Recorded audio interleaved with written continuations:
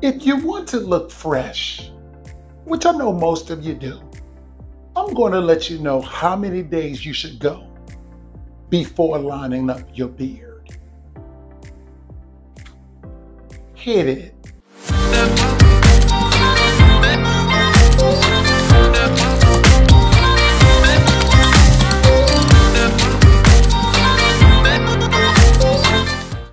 I'm making this video because somebody asked me that question, how many days you should go before you line up your beard? So I'm going to give you my opinion. And my opinion is for the winners, the ones that want to look fresh, the ones that want to attract women, the ones that want to always stay groomed, the ones that want to, when you walk in a room, everybody's looking at you because you look good. That's that's who I'm talking to. If this ain't you, then stop the video. Go back to eating your Twinkies or whatever you're doing, watching your adult movies, whatever you're doing. If you don't want to look fly, stop the video. But this is for my brothers that want to look fly.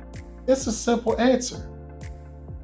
I would line up my beard every other day if you want to look fresh. That way, you always look groomed. That way, you always look well kept. That way, when the mother sees you, she's going to tell her daughter, I want you to date somebody like that young man. Every other day, line up your bed, stay fresh, stay groomed, stay looking good, stay looking like the alpha male that you are. And then if you don't line it up every other day, the most that I would go without lining it up is, and this is pushing it, this is really pushing it. The most that I would go without lining it up is four days. But if you wait that long, four days, you can allow, some people have sensitive skin, I'm one of them, where a bump could form because the hair is growing back. So don't go any longer than four days without lining up your beard. And if you don't know how to line up your beard, I'll recommend that you start off with a cheap pair of line-up trimmers. I'll leave a link in the description they give you some options of trimmers that you can get to line up your beard that are relatively inexpensive. But if you want to stay fresh, line up your beard every other day. Day two or three, that's good as well. But don't go, I already said before, but don't go any longer than four days without lining up your beard.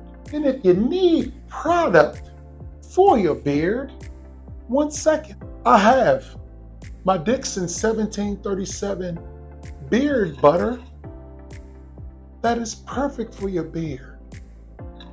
It makes it smell good. It moisturizes and conditions your beard. It makes it shine and makes it softer.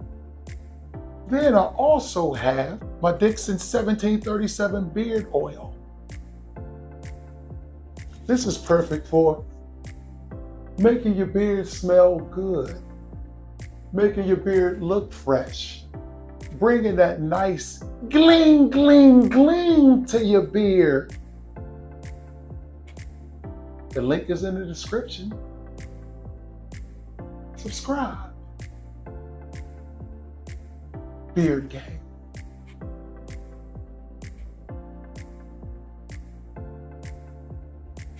Ciao. Oh yeah, almost forgot. Tune into Aspire TV for my new barbershop series, Cut to It, starting September 4th. It's going to be dope. Celebrities coming in the barbershop, interviewing them, laughs, jokes, fun. Oh, now I can do it. Ciao.